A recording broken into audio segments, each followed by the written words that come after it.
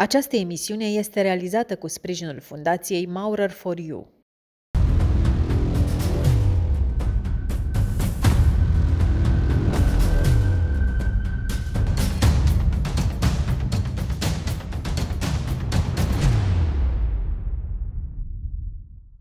Bună seara și bine ne-am regăsit la Portret de Campion. Sunt Cristina Timari și voi fi din nou gazda dumneavoastră.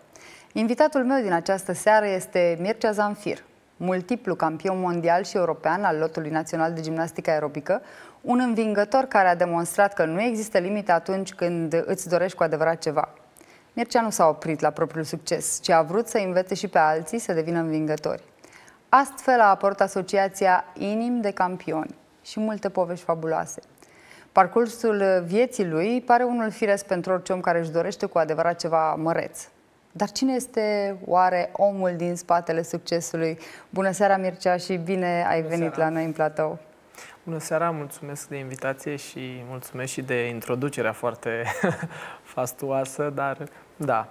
Da, Mircea este și un... Uh, ca, ca toți campionii pe care am avut aici, toți au, aveți aceeași trăsătură, sunteți modești, ceea ce arată valoarea omului din spatele medaliilor. Uh, da, uh, Cred că nu sunt. Uh, de fapt, de mic am observat că am uh, așa o problemă când cineva, mie mi se pare că mă supraevaluează așa un pic, uh, mi-e greu să... Parcă mă rușinez, de fapt, știi? Păi Cred cum că te simțeai pe podium atunci când... Pe podium, pe podium a fost un trofeu mare, așa, e o împlinire deosebită și, na, a fost ca scop, abia așteptam, practic. Dar uh, tot timpul am stat și m-am întrebat de ce oare când cineva uh, îmi aduce chiar rezultatele care sunt luate, obiectiv, uh, un pic mă sfiesc așa și Bine, da, nu poți să contești, nimeni nu poate să conteste un rezultat al unui sportiv. Acolo nu există loc, foarte rar există loc de interpretare. Sunt convinsă că în spatele acestui uh, succes există o muncă fabuloasă, o determinare, un uh, motiv, un sentiment. Aș vrea să ne întoarcem acolo și să vedem când s-a hotărât Mircea să se apuce de sport, ce l-a făcut pe Mircea mm. să practice gimnastică aerobică, de ce gimnastică aerobică și nu judo. Uh, spune-ne cum a început povestea asta fabuloasă? Um, a început uh, într-un mod uh, foarte uh, original, aș spune, pentru că, um, apropo de cei care au copii, am fost uh, foarte mult împins de la spate de tatăl meu până la o vârstă, pentru că nu îmi plăcea ce făceam, e clar.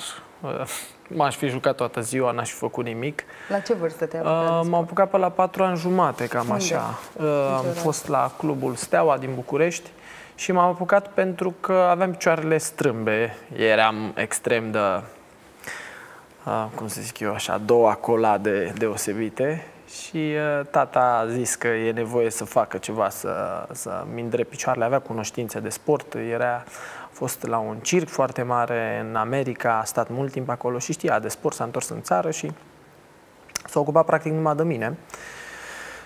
Și m-a dus uh, de la 4 ani jumate și până la 10 ani a ta, deci nu suportam sala aia.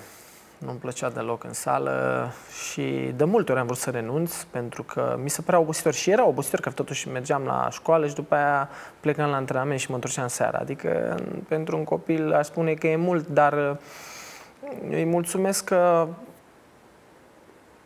m-am împins să, să, să trec peste sentimentele de moment care le au copiii și cu siguranță n-aș fi luat o decizie bună dacă aș fi renunțat. De asta zic că atenție părinților care au copii, că de multe ori trebuie să împinși un pic așa până când realizează dacă vor sau nu. Cred că eu la 16 ani am realizat că vreau. Împins... Uh, Am fost împins ca lume. Deci făceam tot posibilul să nu mă duc și la sport. Când s-a declanșat momentul acela de, spus, de ți-ai spus tu, ok, vreau um, să fac asta, e o pasiune pentru mine? Da. Foarte târziu s-a declanșat. Pentru că eu am început cu gimnastică, sport, eh, gimnastică artistică. Și am făcut vreo 12 ani și Uh, am ajuns la lotul de juniori, lotul olimpic de juniori, dar lucrurile erau, parcă aveam și motive câteodată să nu-mi placă, pentru că la un moment dat aveam vreo 20 de lei pe lună, o, un, o, era o, o un venit, mă rog, am uit, o indemizație era. De 20 de lei, ce să faci cu 20 de lei? Nu era inflație, dar totuși, 20 de lei ne luam. Parcă aveam noi alocația pe atunci 14 lei. Da, nu știu, era foarte puțin tot oricum. Stăteai bine oricum. Da, și era muncă multă și rezultate puține, dar problema cred că era psihologică pentru că undeva cred că antrenorii, deși am respectat pe toți și chiar i-am iubit pe toți, oameni însemnați, cumva totuși... Simțeai nevoie de mai multă afecțiune, poate? Nu afecțiunea, cred că um, la nivel psihologic și, deci undeva la nivel psihologic, nu erau nici ei foarte stimulați și te blazezi, adică hai să fim serioși, salarii mici, concursuri puține, iarăși o problemă. Deci salarii mici pentru ei, dificultăți multe, cum să te motiveze pe tine la un moment dat, nu? Și Vă ținea practic de pasiune acolo. Da, nu știu, cred că inerția. Cred că inerția ne ținea, nu ne ținea nici pasiunea. Că era într-adevăr la un moment dat devenit să plăcut, veneai în sală, mamă, erai uh, frumos, făceai niște lucruri deosebite și îți dădea anumită satisfacție. Cu cât creșteam și de lucrurile deveneau mai complexe și reușeai să Uh, face anumite s-au elemente. S-au îndreptat și picioarele, probabil? Nu s-au îndreptat, am învățat eu să merg. Ba da, s-au mai îndreptat puțin. Dar am învățat eu să merg drept. Când zicea cumnatul meu, bă, tu ești crăcănat, dar mergi drept. Eu nu sunt crăcănat, dar merg crăcănat. Cumva, de genul ăsta tot timpul îmi zicea asta. Merg drept să vedea corect. Dar n-am reușit niciodată să-mi apropii genunchii total. Uh, o să mai revin când am ajuns la gimnastică aerobică, tot, tot timpul antrenoarea îmi spunea de chestia asta cu picioarele mele. O să revin mai târziu. Ideea este că cumva în, în timpul ăsta, uh, între 4 ani jumate și undeva la 16 ani până a părăsit gimnastică artistică, s-a instalat o frică extraordinară. Da. O frică extraordinară care n-au reușit nici antrenorii să-mi o... Frică de ce? Frică de elemente, frică de viață. Deci frica s-a generalizat în viață. Eram speriat de bombe și cumva singurul care știam să-l fac era gimnastică, ceva nu era în regulă acolo iar antrenorii nu reușeau să te scoată. Și lipsa concursurilor, lipsa, lipsa expunerii era o problemă, pentru că ai două concursuri pan. Ți-e frică să concurezi, intri timorat, nu faci treabă. Și iarăși e o problemă majoră. Că astea sunt două puncte care s-au rezolvat mai târziu, de fapt. Uh, Poate și lipsa educației de la părinți, prostioarele care le făceam pe acolo fiind singur, că la un moment dat când ajungi la lot, ești singur. Adică mi se pare că sunt niște puncte importante, lipsa școlii, iarăși nu mergeam la școală. Clar, mergeam foarte puțin la școală. În prima parte, cât am fost uh, sportiv, știu că mă duceam la antrenament la 8 jumate, la 11 jumate, 12 și eu plecam mai repede, ziceam că mă duc la școală, că venea din Bragadiru Ștefan cel Mare, Ștefan cel Mare, Bragadiru, școală. Și ziceam acolo, doamnă, trebuie să plec mai repede. Veneam ultimul, plecam primul. Deci era incredibil. Mai aveam un coleg din Bragadiru, el venea la timp, pleca la timp. Numai eu plecam mai repede și cumva mă înțelegea. Nu înțeleg cum a mers așa. După mă duceam, la, mă duceam acasă, dormeam, mă duceam la ultima oră. Deci eram groaznic. Eram groaznic ca și sportiv uh, și cumva îi păcăleam pe toți. Deci și... ăsta e adevărul, nu știu cum am Cum ai depășit etapa asta? Ce, um, trebuie să fie existat la un moment dat o motivație, altfel Da, da, a existat o motivație. Um, după ce m-am, uh, am renunțat la gimnastică artistică pentru că mi-a rupt un umăr și un, cred că și pectoralul, că am simțit o chestie la un moment dat foarte dureroasă, am ajuns acasă și a fost groaznic. Un an de zile refacere, n-am făcut nimic, eram pur și simplu ca într-o groapă, nu mai puteam să ies, parcă mai rău mă adânceam, depresie. Îți dai seama Ce că vârstă aveai? Aveam vreo 17 ani și așa e vârstă de criză. Da, da, s-au suprapus niște uh, Da, da, nu mai știam nimic. Știu că a fost chiar și acum, parcă inerția, trăiam de inerție că mă duceam la gimnastică. Deci eu mă lăsasem... Și luat gimnastica din viață? Deci mă lăsasem de la lotul de juniori și cumva mă duceam înapoi la Dinamo, că acum eram la Dinamo, că am făcut vreo șapte ani la Steaua, după aia m-am dus la Dinamo. Mă duceam la Dinamo, dar nu mai aveam nicio perspectivă, eram așa, pur și simplu, numai asta știam să fac. A fost cumplit și a venit un coleg, Brânzea Mircea, care și el s-a lăsase de gimnastică tot de la lotul de junior, că a avut o problemă cu ochiul, nu mai vedea aparatele. Da. Și uh, mi-a zis, băi, vrei să facem, uh, uite, gimnastică aerobică, mai avem un coleg, Mavrodineanu Valentin, tot de la lotul de junior, nu știu ce făcuse el pe acolo, de la dași pe el afară. și zic, hai că suntem trei, facem trio, zic, la gimnastică aerobică, mai fuseseră trei băieți înainte, foarte buni care reușiseră să spargă gheața în gimnastică aerobică și erau foarte titra, titrați, care mi-au fost, și, mi fost și antrenori și prieteni. Remus uh, Nicolai, Claudiu Varlam și uh, Cristi uh, Cristian uh, Moldovan. Și am zis, hai să fim și noi, că poate reușim. Era destul de greu să reușești totuși formula de trei. Deci, practic, erați toți cam în aceeași situație Da, cam în aceeași situație, da. într-un declin, așa, într-o da. căutare. Eram cam sfârșiați așa, pentru că... Vă pierduseți... Uh, da, nici n-ai ajuns în vârf, aproape în vârf, că erai la... Eu trebuia să merg chiar la europene, dar m-am dus la antrenor și le-am zis, domne, nu mai mă băgați în cursa pentru europene, că v-am cam ascuns că am o ruptură și zic că nu mai pot, să rupe din ce în ce mai tare și trebuie să mă opresc. Le-am zis și au zis, mulțumim că ai fost onest, că mă băteam eu cu încă un băiat să merg la europene și mulțumim că ești onest. M-au lăsat în sală, dar până la urmă am hotărât că e prea mult. A, așa. Uh, m-am dus acasă, am început cu băieții uh, să ne antrenăm. Am ajuns în Unde sală. Prima oară am început la un club să vedem dacă suntem capabili. Ei știau deja că concurasele la clubul ăla, dar să vad dacă sunt capabil eu. Mă rog, uh, nu prea să vedea nimic. era un sport mai nou, era și pe muzică. Dar am ajuns la lotul de senior, unde doamna Marcela Fumea, coordonatoarea de lot, uh, zice că a văzut ceva în mine și a văzut bine, într-adevăr. Doamna nu prea se... Uh, uh, nu s-a înșelat. Înșela. Da, da, da. Și oricum, am, am, tot timpul am apreciat chestia asta la ea. Totuși îți oferea o șansă, orice ar fi. Te lua în lot acolo o lună, două și tot uh, vedea dacă se poate lega ceva de tine. Mi-a plăcut foarte mult chestia asta la ea. Și um, probabil că asta a fost ceea ce vă lipsea vouă. Ceea ce n-ați găsit în partea cealaltă aici? Uh, mă leg de cele două puncte, antrenamentul și mentalitatea antrenorului. Poate că era mult mai matură ea pentru că ea se expunea foarte mult și la multe concursuri și tot timpul ea încerca să, să crească în, în, în ca om, ca om și ca, ca antrenor de sport. Mă rog, e, acum e, cred că e vicepreședinte în Federația Română de Gimnastică, e foarte sus, oricum merită, tot timpul i-am zis, doamnă, meritați, asta a fost drumul, așa trebuia să fie. Um, o persoană extraordinară, mm, îi mai spuneam câteodată așa când o mai atingeam așa, mami, că a fost ca o mamă pentru noi și a fost o bulă în care am crescut cu ea. De ce zic asta? A fost frumos. A fost foarte frumos. Foarte, foarte, foarte frumos. Unic, frumos.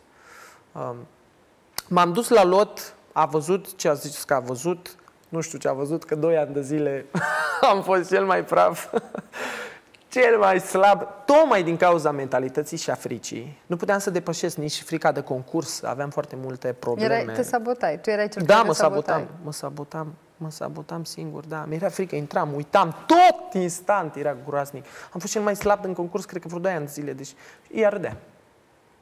Deci, practic, corpul ăsta capabil să facă niște lucruri da. era blocat de un era psihic blocat, care da, da, spunea da. asta așa, că tu nu poți. Am construit în frica asta. Antrenorii n-au știut să, să, să mă scoată și eu cred că unul dintre uh, problemele majore a fost lipsa de expunere. Adică uh, uh, uh, nu, nu au avut nici antrenorii, nici sportivii la gimnastică da, spunea suficiente cineva, nu știu, acasă, la școală, cineva de păi, da, da, dacă... spunea, nu poți, nu ești capabil, nu ești în stare, nu ești bun de nimic. Era da. cineva care îți Păi se întâmpla că asta. intri într-un concurs, ai două pani, ți-e, ți frică la unul, cazi, vine al doilea, ți-e frică că o să cazi că l-ai căzut la primul. Și după ce le faci pe astea două, ai la anul alte două. Și ți-e frică că ai ratat la ambele două, dar zice, se construiește în timp. Antrenorii zic, bă, ai ratat, ești mai slab, nu știu ce. Nu e bine. Păi când la aerobic a fost, doamne ferește, intram în concurs, praf făceam, antrenoara râdea. Nu nimic că mai e unul. Cum, doamnă, mai mă păgat? Da, asta e niștit. Deci dacă nu m-a băgat în concursuri până am înnebunit. Practic ai, ai învățat să câștigi uh, pierzând. Da, cum... da. Deci doi ani de zile dacă nu râdea de mine, ce el mai... Nu zicea cel mai slab, nu zicea, râdea, ce-ai făcut, mă? Ce-ai făcut, mă, prostiile alea? Și râdea și pleca. Deci nu venea să cred. Că ne făcea așa o analiză și Zamfir. La Zamfir o bufnea râsul când se uita pe foile alea, că tot timpul scria ceva acolo. Da, și trecea mai departe, adică m-a lăsat să Ți-a explicat ies de acolo. eșecul, da, de da, fapt, da, nu este da, de da. Da. grav da. și că nu e permanent, nu? A micșorat eșecul. L-a micșorat, i-a dat importanța deoparte și după aia, după ce am ieșit, uh, după ce am avut primul succes, practic, uh, a început să construiască pe succes. Și a zis, hai mă că se poate, nu știu, și de acolo am început să mă ridic ușor, ușor. Plăcerea a venit. A venit și plăcerea și dorința din ce în ce mai Parcă îți părea rău așa că nu mai ești acolo la... Te obișnuisei cu cu poveste cu eșecul. Te împrietenisei uh, cu el. Nu... Sau poate că asta a trebuit să, să te împrietenești cu, cu eșecul, să-ți dai seama că nu e așa o mare da. piatră de căpătâi, că totul poate nu, se poate că... transforma. Deci nu numai că nu e o piatră de căpătâi, dar e foarte important. Este foarte important, că mai târziu tu, am aflat. Tu ești o fire perfecționistă? Uai, groaznic sunt, da.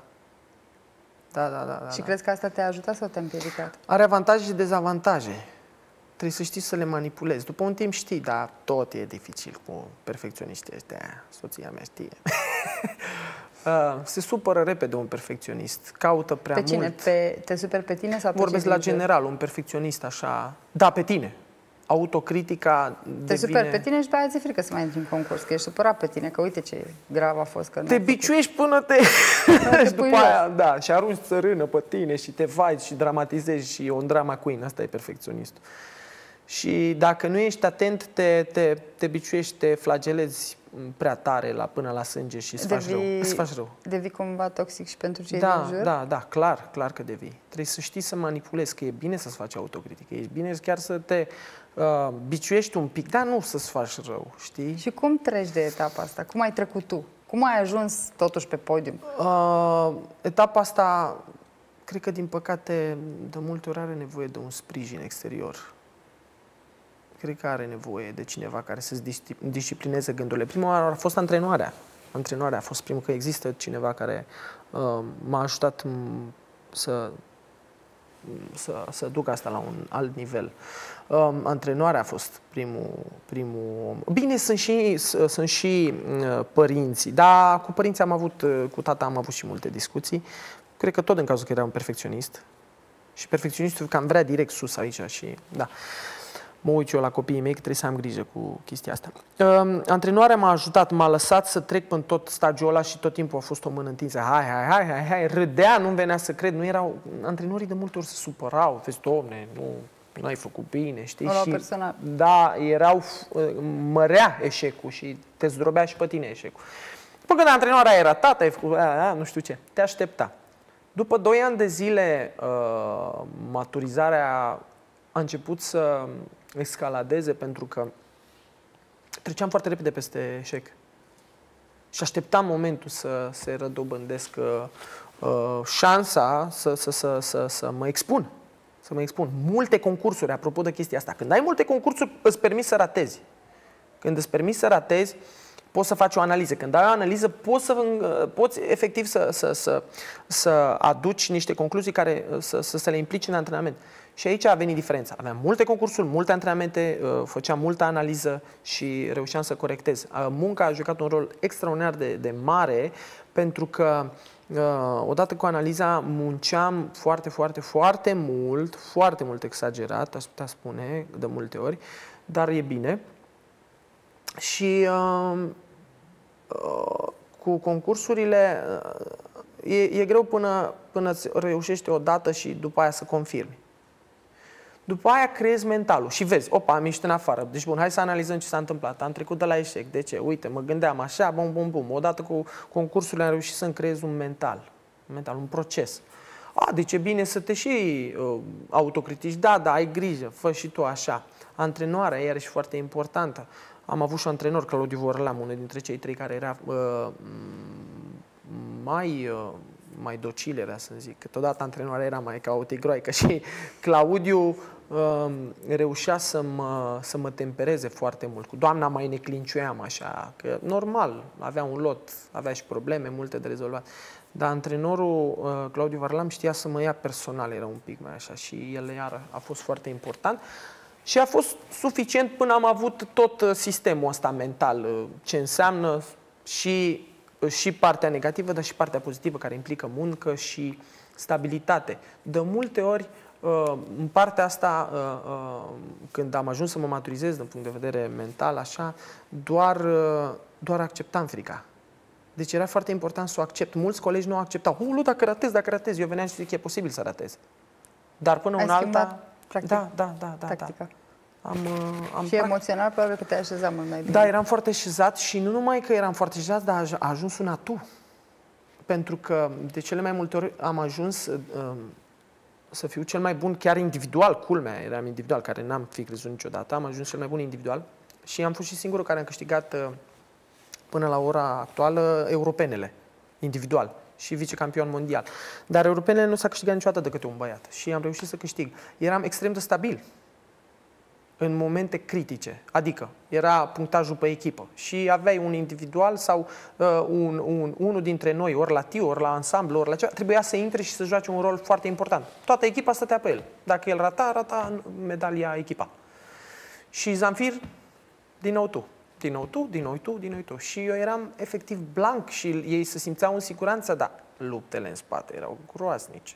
Dar cel mai mare avantaj a fost faptul că am, uh, am acceptat frica și clar faptul că uh, a existat Dumnezeu în viața mea. Asta e al doilea cel mai important punct și este uh, cel mai uh, uh, cel care mi-a definitivat uh, gândirea în așa fel încât să pot face față cu adevărat uh, um, fricii și vieții, ca să zic așa. Practic, credința a fost uh, unul dintre punctele de echilibru pentru relansarea ta. Da, credința a fost chiar salvarea mea, pentru că la un moment dat am intrat într-o depresie foarte, foarte mare și că eu am găsit uh, cheia, să zic așa, pe plan profesional, dar pe plan sentimental era un dezastru, extrem de dezechilibrat, uh, mai ales că acasă mm, au fost niște probleme în familie și mm, practic uh, mi-a fost greu să le depășesc cu mama, cu tata, mă rog, violență domestică. A fost, uh, a fost dificilă. A fost dificilă perioada asta și mi-a, mi-a afectat uh, creșterea, cu siguranță. Adică frica acasă, frică la sală. S-a dezvoltat așa o, o zonă de panică permanentă. Da, eram și... Deci da, panică permanentă era, da. Uh, când am început să citesc Biblia, asta a fost uh, o revoluție totală. Nu știu ce... Nu știu ce vârstă ce... aveai? Eram deja la lot. Câștigasem deja câteva mondiale, dar tocmai că succesul fără echilibru... Aveai mm. acest succes, dar nu te puteai bucura de el? Nu îl simțeai Nu, nu, nu, mă bucuram de el, dar banii mă duceau în exces. Deci banii mă duceau în partea asta în exces. Făceam cu el mai, mă rog, am fost echilibrat, să zic așa, dar totuși nu chiar cum ar fi trebuit. Și excesul cam distruge iarăși echilibru pentru că orice exces îți afectează și, și conștiința, aduce judecată, judecata te zdrobește și nici nu mă miră de multe staruri care se droghează ca să-și mai potolească un pic conștiința, să-și mai revină. Uh, eram extrem de deprimat de anumite probleme care mi le creasem eu în viață și nici nu vreau să le vorbesc chiar pe față, așa că implică și alte persoane. Și... Uh, Dar cum de te-ai hotărât așa deodată nu m-am hotărât. să citești Biblia? Nu m-am hotărât deloc chiar. Că când ai deschis a fost o hotărâre, o alegere? Că eu am credința mea, asta e răspunsul tuturor, care ne face de fapt comozi și ne scuză să nu facem nimic. Uh, am ajuns într-o depresie extrem de profundă. Asta a fost singurul lucru determinant. Și în depresia asta mergeai prin casă, te-ai împiedicat de o Biblie sau? Nu, mergeam chiar peste tot și eram ca o fantomă, efectiv. Deci nu mai trăiam, deci eram, uh, aveam niște probleme destul de profunde, că um, aveam uh, deja atac de panică, cred că aveam de câțiva ani.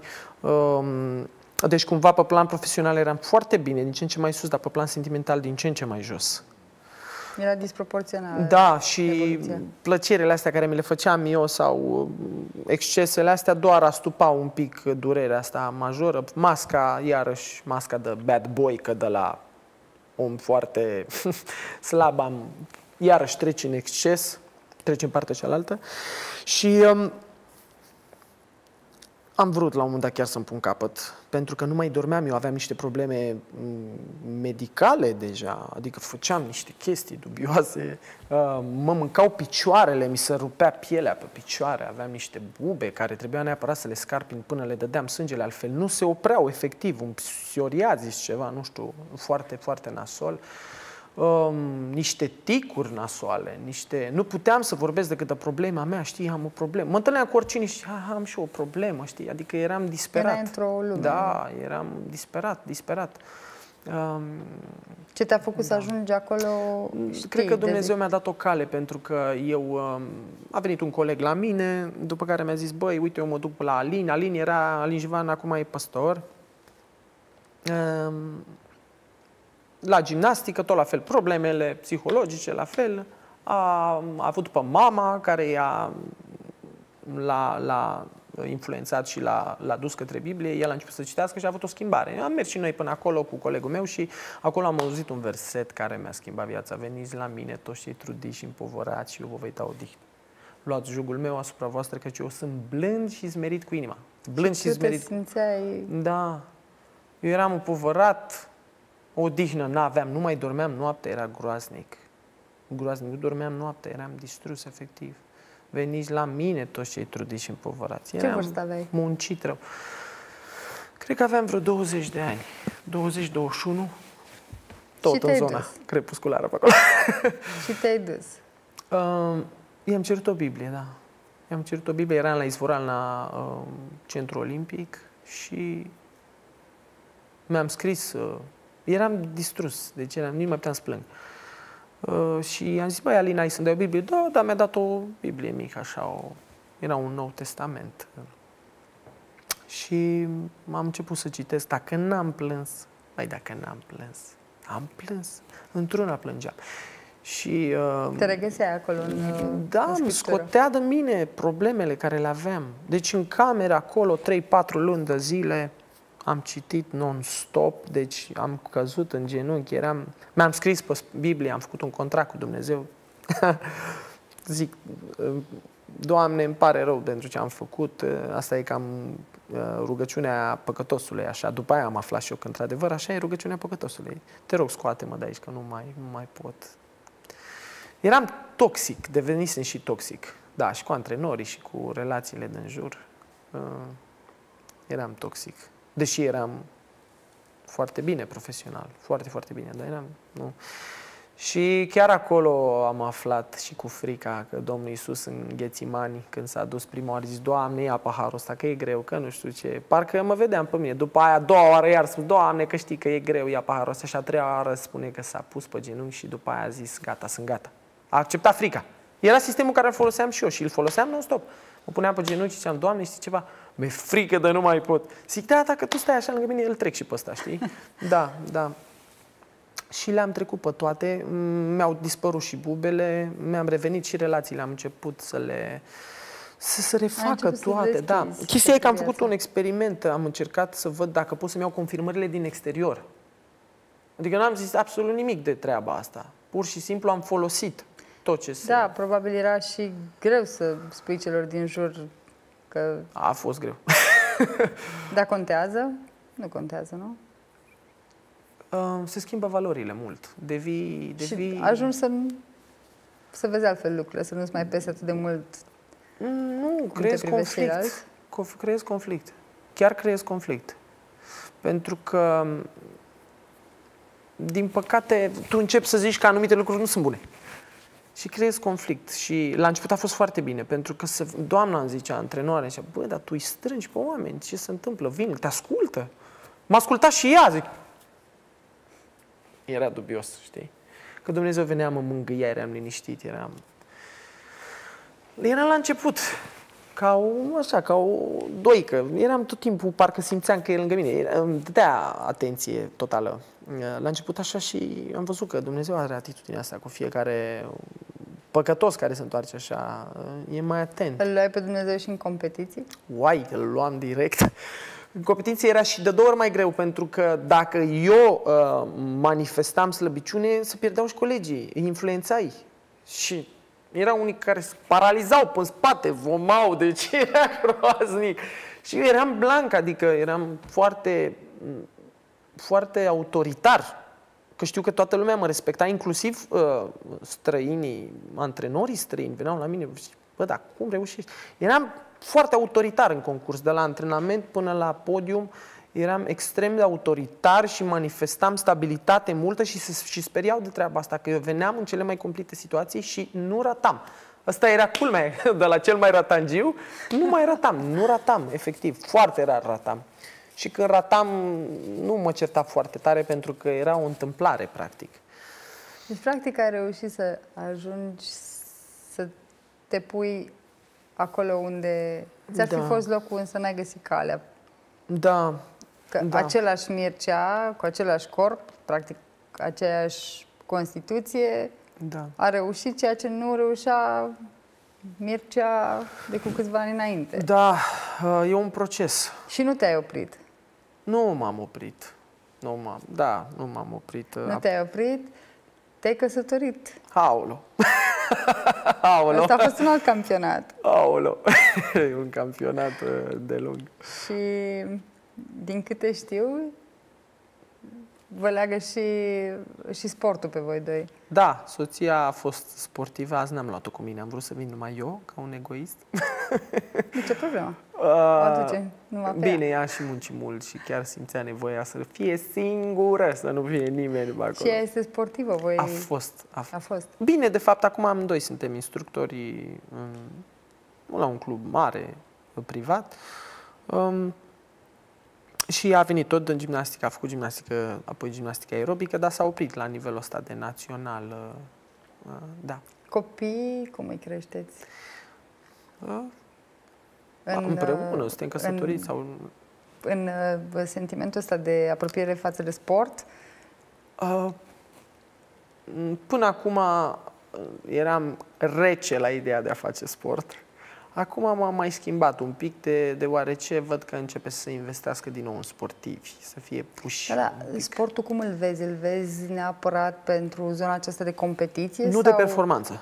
Să fiu clar. Adică n-aș fi vrut, n-aș vrea ca copiii mei să facă sport de performanță. Dar sport, da, pentru că sportul disciplinează. În ultima perioadă mi-am păi schimbat și ce un să te pic... faci dacă ei vor fi atât de pasionați încât o să îi las, îi las, nu e problema de asta, dar um, nu cred că mai este...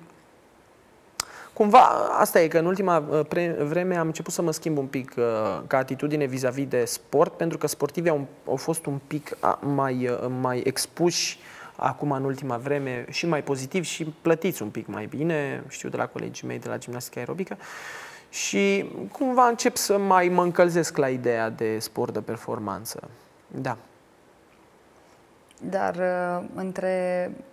No, spuneai că ai fost uh, împins de la spate să, să te antrenezi, să faci sport. La un moment dat ai ajuns la concluzia că de fapt nu poți să treci fără sport. Astăzi da. faci sport, trăiești prin sport, respiri sport în continuare. Ce da. crezi uh,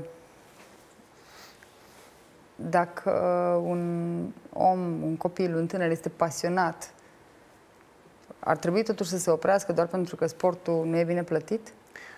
Uh, eu cred că pasiunea găsește niște căi de a se autofinanța, ca să zic așa, din toate punctele de vedere, mai bune decât dacă i-ai oferi unui copil toată arhitectura intelectuală și fizică să facă ceva care vrei tu și nu el. Deci pasiunea, după părerea mea, e cel mai important lucru. Dar atenție că mi se pare că un pic în, în ziua de azi cumva nu mai se face diferența uh, între decizia comună părinte-copil și mai mult părinte și decizia copilului. Că cumva părintele zice, nu-i place, nu face, nu face, nu-i place, nu-i face. Păi stai un pic, e un copil. Ce-i place azi mâine, nu-i mai place e, trebuie găsită o direcție, dacă mergi pe performanță, o să fie mai mult decizia părintelui. Prea puțini uh, sportivi da. își găsesc uh, singuri... Uh, da, n-ai cum să fii pasionat. Eu nu înțeleg. Ah, să, să nu, să Spune-mi, performanța se face cu... Clar, cu autoritate. Dar cât afecțiune trebuie să fie din, din partea, partea părintelui? Păi, din partea părintelui, clar. Din partea antrenorului, a mediului, cât afecțiune, câtă... Care sunt dozele? Afecțiune. Pări... Antrenorul, în primul rând, trebuie să fie... Afecțiune, compasiune, înțelegere. Prea sau... mult să merge un pic. Mie mi se pare că în ultima perioadă prea mult se pune accent pe a-mi place, a mă simți bine. Deci a-mi place, a mă simți bine și... Performanța nu este confort? A fi, a, a fi o chestie boemă tot timpul. Nu cred Drumul că către așa. performanță nu este confortabil. Nu, nu este deloc confortabil, iar eu îl recomand în orice direcție de a face performanță. Deci eu nu mai recomand boemitatea asta care este uh, nocivă copilului.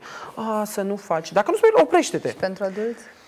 Toți trebuie să treacă în procesul de a simți viața de jos până sus, pentru că, adică, nu vreau să par au, au, să, să te autodistrugi, dar nu, nu poți să te disciplinezi dacă nu treci pentru un proces nu poți mai să greu. Evoluezi fără... Și nu poți să evolu evoluezi.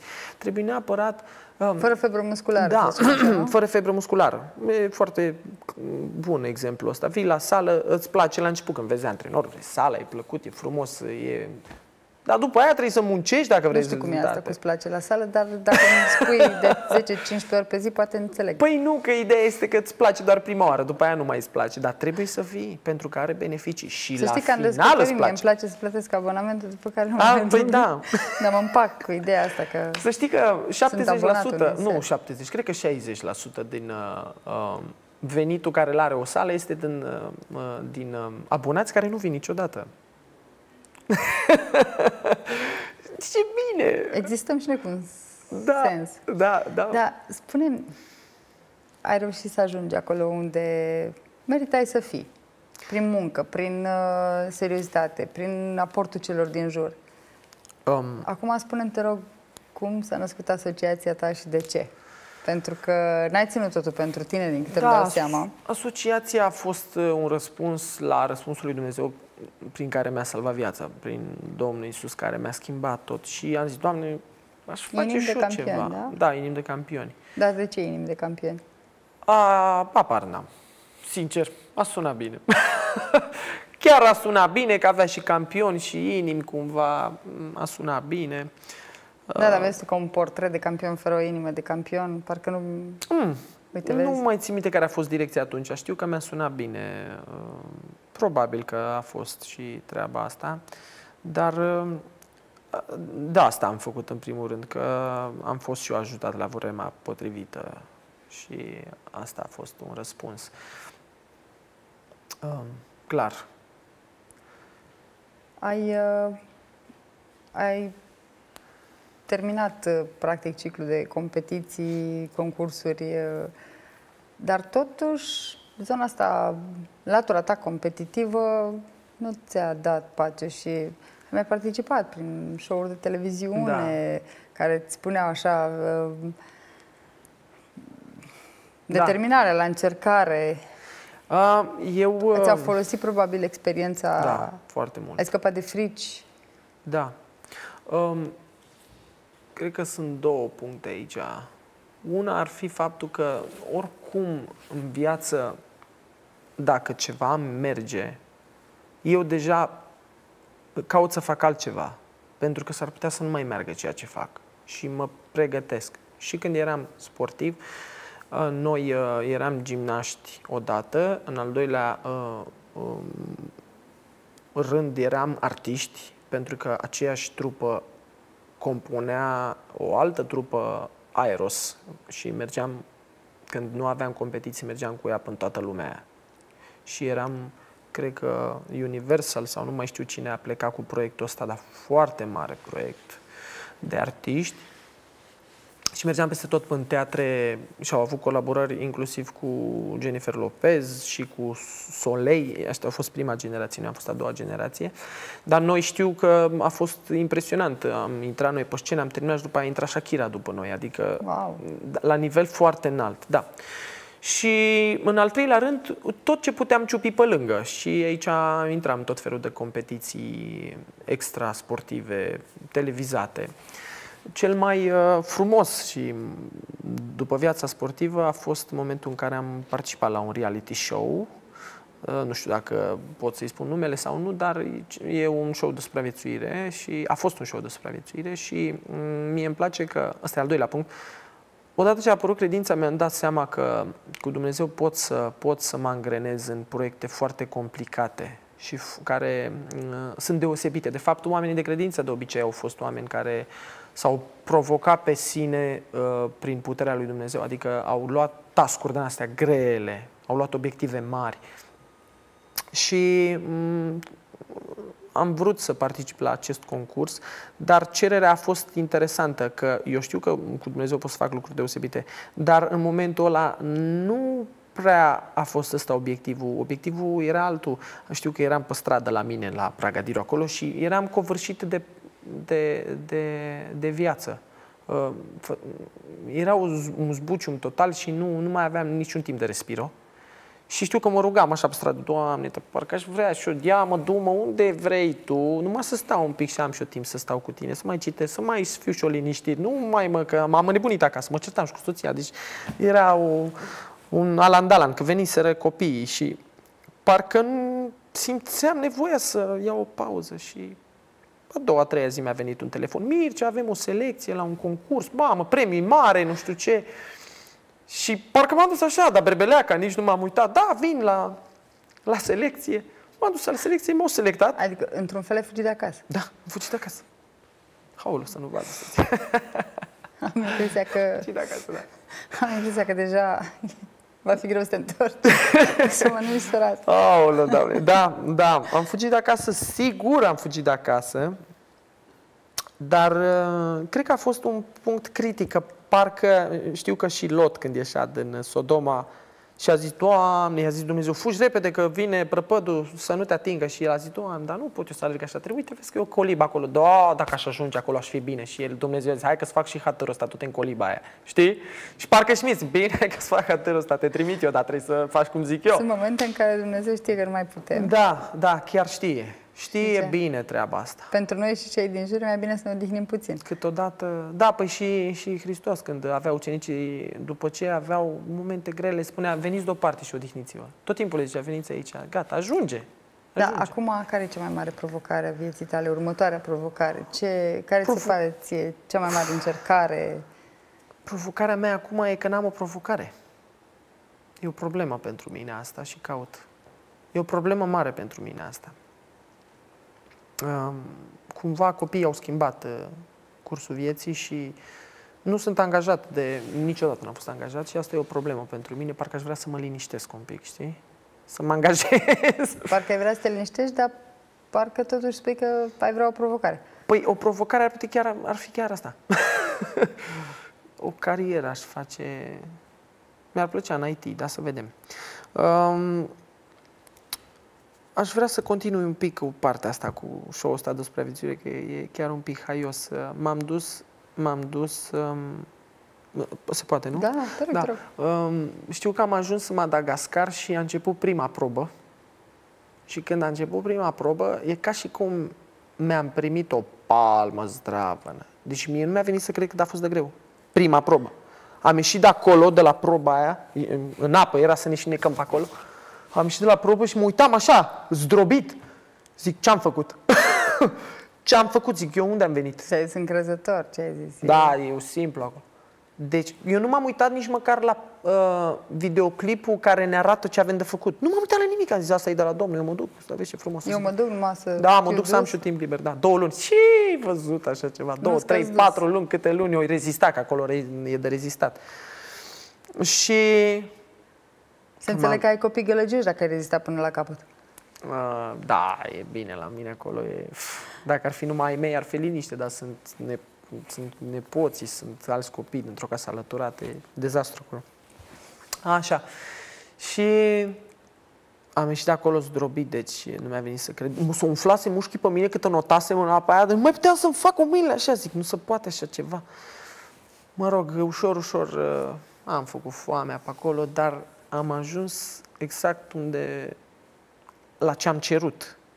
Eram pe spate, dormeam pe jos, pe niște șipci, din alea brici, citeam și eram liniștit. Deci Citeam până și la eram urmă, liniștit. până la urmă ți-ai găsit... uh, Da, exact ce aveam nevoie mi-am Eu găsit. sper ca provocarea de care spui că ai nevoie să vină curând și să te întorci să ne povestești ce ai mai câștigat. Tu fiind un tip competitiv, nu cred că te vei opri aici. Da, Poate, încerc. cine știe, să faci propria ta trupă de acrobați, de uh, gimnaști. Copii de... mici. Uh, mă bucur mult că ai fost alături de noi, că ești atât de um, deschis și uh, cred că fiecare om care întâmpină frici, griji, probleme și te-a auzit, a reușit să găsească măcar speranța aceea că din situațiile acestea ieși, dacă îți dorești cu adevărat. Și poate că la tine cea mai mare provocare n-au fost uh, aparatele de la gimnastică sau competițiile, cât uh, ieșirea ta din... Da. uh, Poate că acesta este marele campionat. Da, cu siguranță asta a fost. Apropo de chestia asta, ca asta pot să și concluzionez uh, la experiența mea din Madagascar, a venit cineva și a zis, bă, nu mai citi chestia aia, că e veche, cartea aia. Și am zis, băi, în una din zile poate să-ți câștige un concurs și poate chiar pe tine însuți, știi? S-a uitat la mine, a început să râdă, mă rog, și uh, am câștigat concursul ăla. Eu l-am câștigat. Uh, și să mirau toți și acum ai reușit. Păi câteodată mai bine dacă nu te descurci, mai bine pasezi cuiva care știe să te ducă într-acolo. Și tu ai pasat către Dumnezeu. Da, Dumnezeu la victoria. Avem la îndemână Biblia asta, nu știu de ce nu citim, că e o cheie extraordinară. Mă rog, cert este că, da, cam Mi-ar asta fi cred plăcut că să e avem mai succesul. mult timp la dispoziție, nu știu când a trecut. Da. Uh, Dar mă bucur să văd că la portret de campion uh, zboară foarte repede timpul cu invitații mei și asta iarăși cred că este o, o mare șansă pentru mine să aflu chiar de la oamenii puternici, uh, pentru că asta este incontestabil, să aflu ce îi uh, determină să, să ajungă unde și-au propus. Mulțumesc încă o dată. Mulțumesc și eu. Te mai așteptăm și Cu împreună drag. cu soția. Acesta a fost uh, profilul campionului din această seară. Un campion al inimilor, un campion al generozității și al dorinței de a da și celorlalți din tot ceea ce el a văzut că este bine și frumos. Vă mulțumesc pentru atenție. Nu uitați că ne puteți urmări și pe site-ul nostru www.a7tv.com, dar și pe canalul nostru de YouTube, acolo unde puteți revedea oricând edițiile noastre favorite. Sunt Cristina Timariu și până săptămâna viitoare nu uita, fi campionul vieții tale.